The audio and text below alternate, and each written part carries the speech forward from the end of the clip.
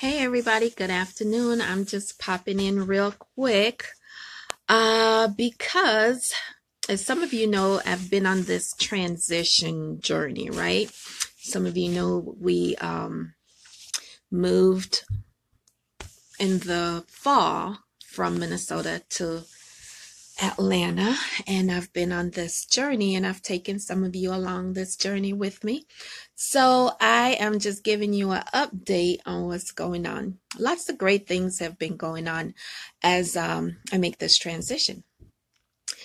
But um, something happened today that just got me mm, feeling some kind of way, right? Um, I'm getting ready for my trip to Senegal, and you know I go uh, to to Senegal once a year to work with my nonprofit organization Project Safety Nets, and we do lots of great things there with especially women and children. Hey, cousin, I'm so glad you're here, all the way from Jamaica, or are you in Jamaica? Um, and so uh, today I was just um, I was just sharing with somebody on the phone. I said, you know what? It's two weeks away from my trip and I am feeling a little um mm, a little unsettled. One because everything is so different about this time. This is my 10th trip to Senegal, but things are a little different. So, let me give you a sneak peek of uh, some some of the things that are different. Usually when I'm packing for the trip, usually for the let's see the the last month before my trip, you can't even walk in my living room, right? And some of you have been to my house to help me pack, help me sort, and take inventory and make sure we have everything we need for the trip. But today, as I pulled my stuff together for the trip, I was looking around. Let me see if I could change the view here. I was looking around. This is, I'm in my son's room and this is all I have to pack. And I have my bags here. I have my stuff here, getting ready. And that's all I have to pack. So, you know, there's a little mixed feelings, some mixed feelings about that. Is this a good thing? Mm, I don't know. I'm not sure yet. I just know that it's different because usually uh, for the past 10 years, I've had a, you know, room full of stuff to try to make sense of. Definitely different. Okay. So I, I'm just going with the flow. I'm believing God to make the way and, um, I'm believing that I'll have everything that I need. One thing I will say though is while I was, um, planning while I was moving, I did gather two barrels of supplies and we shipped those ahead. So the barrels just made it to Senegal. And so we, we do have some supplies on that side. And I think um, one of the things that I'll do is I'll work on getting some of the things there that I can purchase on that side, like aspirin, um, I will need to buy some Tums and some A&D ointment because I can't really find that over there. Or I'll take those in donations if people want to donate that kind of stuff. So I um yeah, I'm feeling some kind of way about about this being a part of the transition and it being a little different. Um, I'm going to pop on a little later to share with you how you can help support us because we still need more funding to purchase uh, our mosquito bed nets. We still need more funding uh, support to to work with um, the different people that we're working with in Senegal. Um, hey, Lady V, I'm so glad you're here. Hey, Mr. Samba. Hey, Marlon, glad you're here. And um, so let me give you a tip before I get off packing these are things that i've learned through trial and error right i'm gonna uh, turn my screen back around now this i no longer bring suitcases on my trip this is how i travel i travel with these big big um, canvas bags And why? Because suitcases weigh about 15 pounds themselves. And then I'm only allowed 50 pounds per bag, and I'm allowed two bags to travel. So I use these big canvas bags to pack 50 pounds of um of supplies. And i don't just throw my supplies in my bags. I put them in plastic bags like these. So I wrap them in the plastic bag, I tie them, I write my, weight, I weigh each plastic bag, I write the weight on it, and then I put them inside the canvas bags. And um, and get up to 50 pounds. So if I have to remove magnifique, Marlon, magnifique. If I have to remove some of the, the supplies, I don't have to take the whole bag out. I just take out um, the, the amount of weight to adjust it so that I'm 50 pounds. Okay. The other thing that I do is I copy, let's see if you can see this. I copy the front page of my passport with my picture. I'm not going to show you my picture because it has all my information there.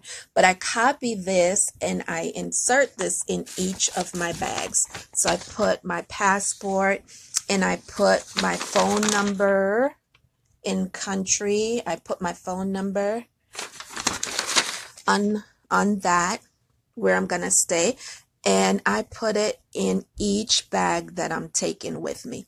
So those are some quick tips uh, unpacking. Oh, here's another thing. I carry my money on me. Okay, I carry my money on me in this little body pouch. And so usually the night before my trip, my friend Natalie, she'll come over and she'll count out all my money for the different uh, projects that we're working on.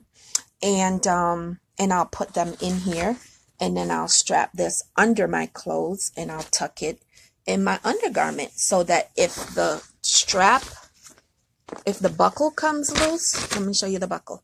If that comes loose, it still won't go anywhere.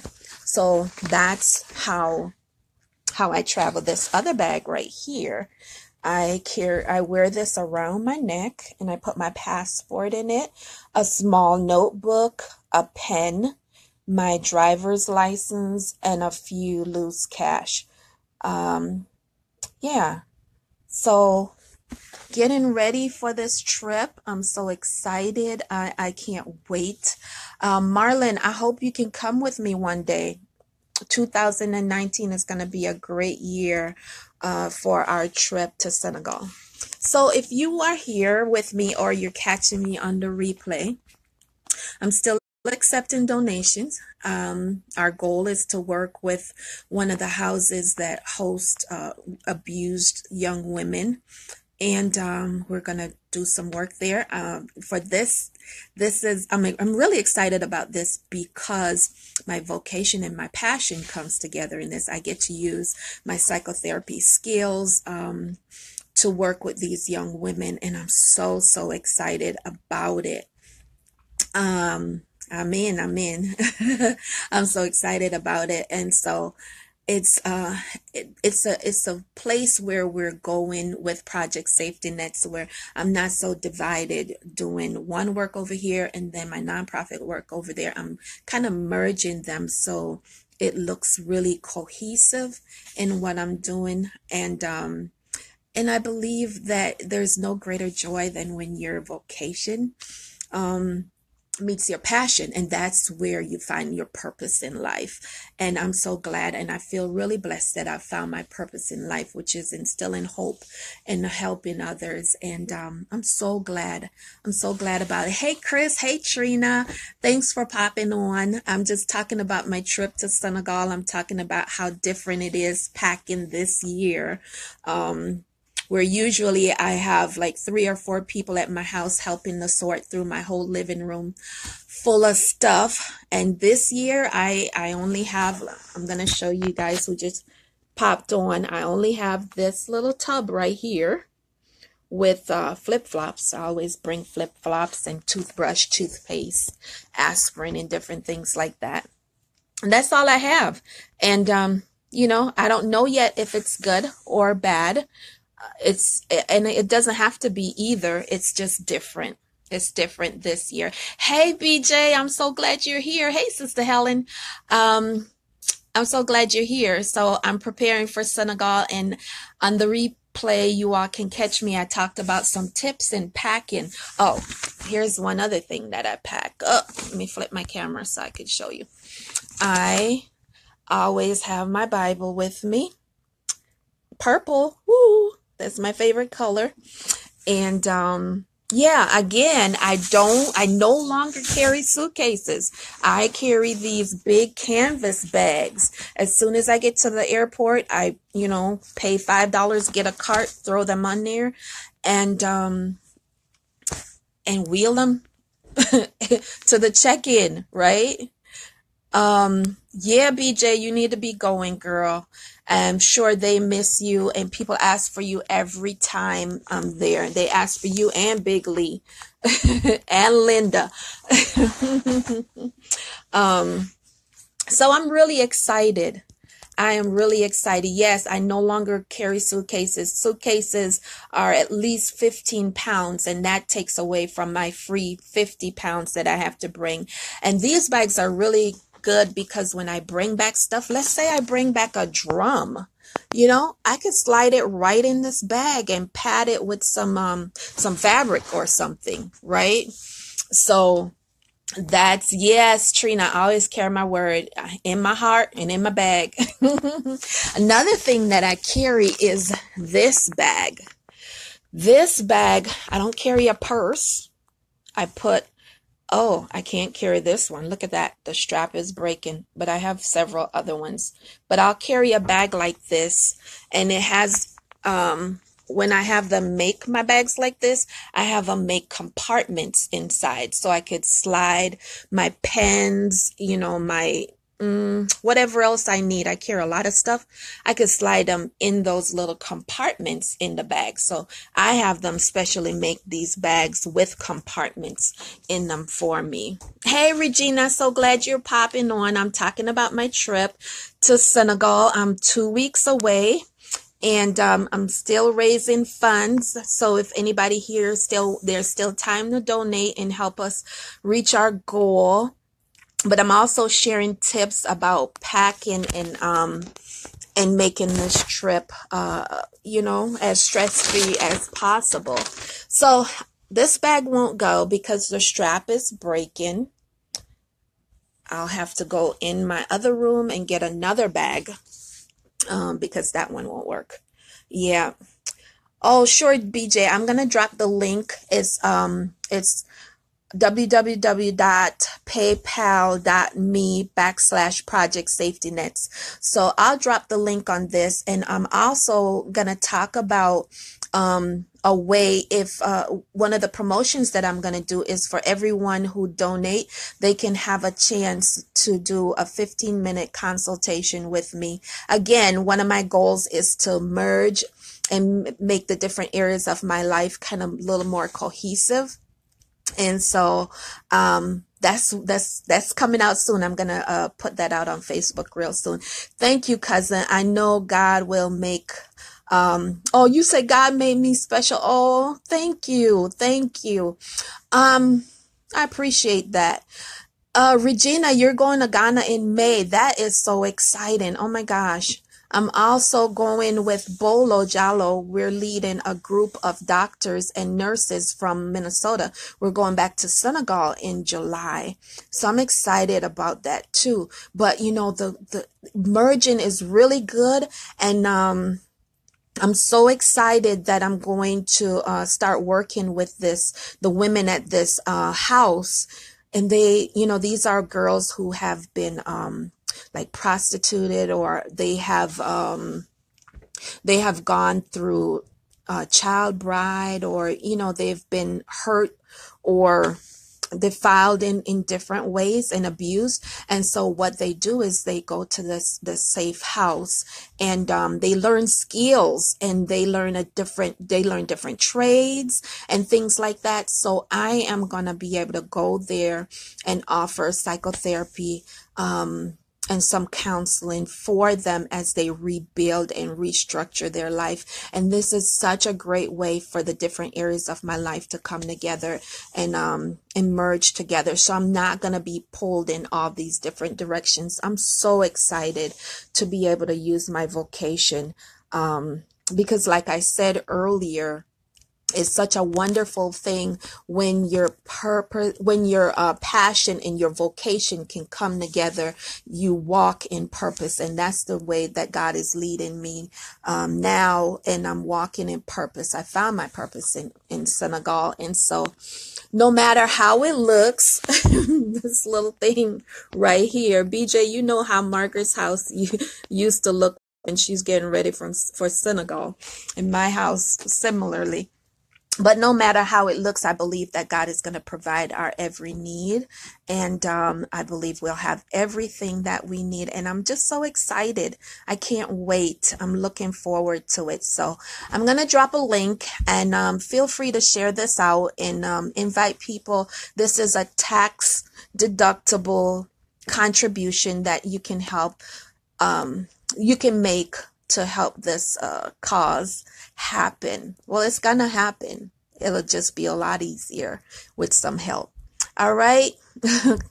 yes, God always provides, girl. He always provides. And I'm, so, and I just, when, when it looks like, um, it gets a little dreary and a little discouraging, all I have to do is sit and look back at the pictures and think about, oh, yes, he made a way here. Yes, he provided there. And, um, and it's not just money, you know, it's not just finances. He laid, um, us on people's heart and has given us favor in so many, so many ways. And that's why we're able to celebrate 10 years of Project Safety Nets working in Senegal and other West African countries like Togo, Ghana, um, and the Gambia. And this is so exciting. And um, this is my life's work.